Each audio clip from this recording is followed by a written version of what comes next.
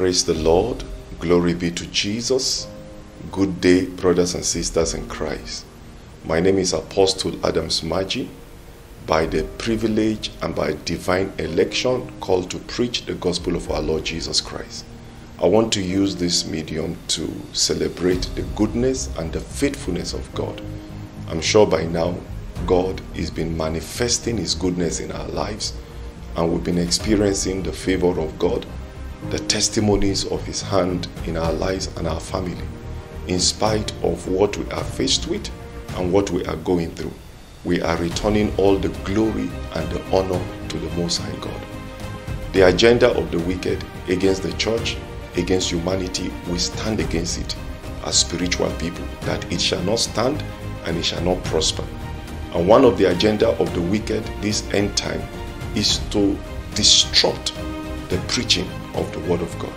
Because that is what eventually will lead to the coming of our Lord Jesus Christ.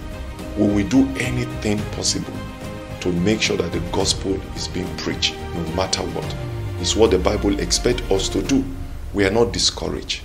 All those who are beloved to us that have gone to be with the Lord, may their soul rest in peace. And we pray that God give us alive the strength and the grace to keep serving Him, knowing that one day, when our time too will come, we will meet them again in the bosom of the Lord Jesus Christ. So we don't lose people in Christ. People pass on to glory. So may their soul rest in peace. And those of us that are alive, we have one purpose for living. One purpose why God is allowing us to remain alive is to preach the gospel, to do His will.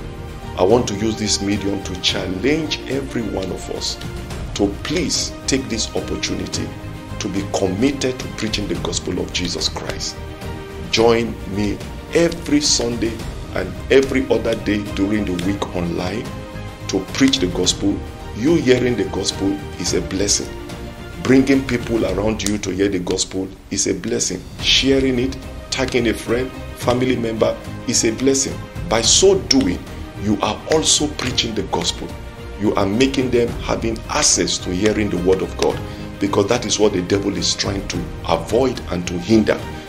Particularly if you are in nations where there is lockdown, where churches are not allowed to meet.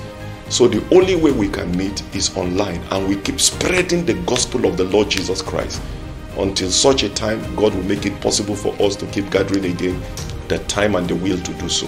Please look at Matthew chapter 24 and verse 14. And this gospel of the kingdom shall be preached in all the world for a witness unto all nations, and then shall the end come. This is what the devil is afraid of. This gospel must be preached in all the world for a witness unto all nations, and then shall the end come. We must do all that we can to preach the gospel of the Lord Jesus Christ. So, what is your part? Number one is to listen to the gospel. Make yourself available to hear the word of God. That is your source of strength in the days that we are in. And then, number two, tag your friends. Number three, like the page on Facebook. Number four, subscribe to our channel on YouTube. Make sure you are a partaker of preaching the gospel of the Lord Jesus Christ. Don't forget as you keep doing that, you are joining me in preaching the gospel of the Lord Jesus Christ. I pray that as you do so, may the favor of God rest upon you and upon your family, that we will keep preaching the gospel to the world until we will be caught up to meet Him in the air. May the peace of God rest with you and increase upon you and your family, and may God keep you alive to do His will and to advance His cause and His purpose in Jesus' mighty name. Amen.